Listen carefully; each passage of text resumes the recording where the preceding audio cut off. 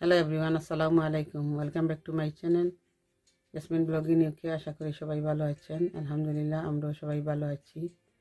তো শুরু করছি আজ নতুন একটি রেসিপি এখানে আমি এক প্যাকেট ফ্রেশ ক্রিম নিয়েছি। এটা যে কোনো সুপার মার্কেটে আপনারা পাবেন। আমি টেস্কো থেকে এনেছি। আর এই ফ্রেশ ক্রিম আমি মাঝে মাঝে শাকের মতো রান্না করি। আর এটা এক ধরনের কাবিজ পাতাই। কাবিজের মতোই দেখতে।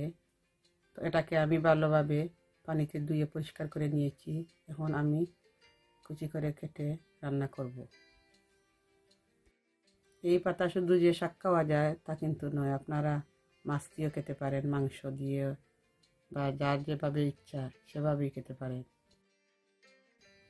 তো আমি বেশিরভাগ ক্ষেত্রে এটাকে আমি শাক বানিয়ে হয়ে থাকি। আজ আপনাদের মাঝে শেয়ার করলাম, হয়তো আপনাদের ভালো লাগতে পারে।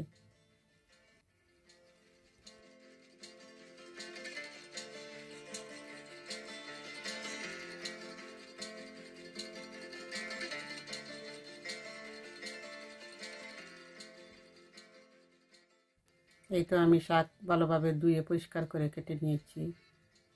এখন আমি রান্নায় চলে যাব। এখানে আমি বড় দুইটি পেঁয়াজ নিয়েছি আর পাঁচ ছয়টা কাঁচামরিচ। এখন একটা হাঁড়িতে আমি সব শাকগুলা ঢেলে আর পেঁয়াজও ঢেলে দিলাম। কাঁচামরিচ, লবণ একসাথে দিয়ে আমি ডেকে দেব। আর অপেক্ষা করব সিদ্ধ হওয়া পর্যন্ত।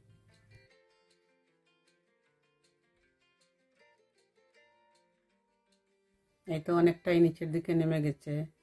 এখন আমি শাকগুলাকে ভালোভাবে মিক্স করে নিলাম। আর শাক থেকে প্রচুর পানিও বের হয়েছে। আমি এখানে কোনো পানি দিইনি। শাকের পানিতেই আমি শাকটাকে রান্না করে নেব। এই তো শাক হয়ে গেছে। আমি এখন নামিয়ে এক সাইডে রেখে দেব।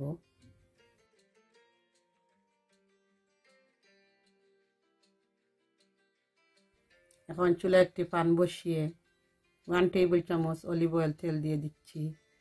তারপর আমি বড় দুইটা রসুন কুচি দিয়ে দিচ্ছি।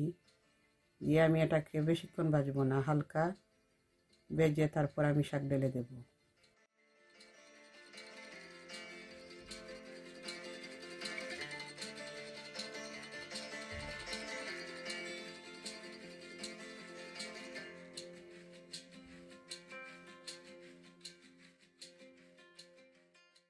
এই তো আমার রসুন ভাজা হয়ে গেছে।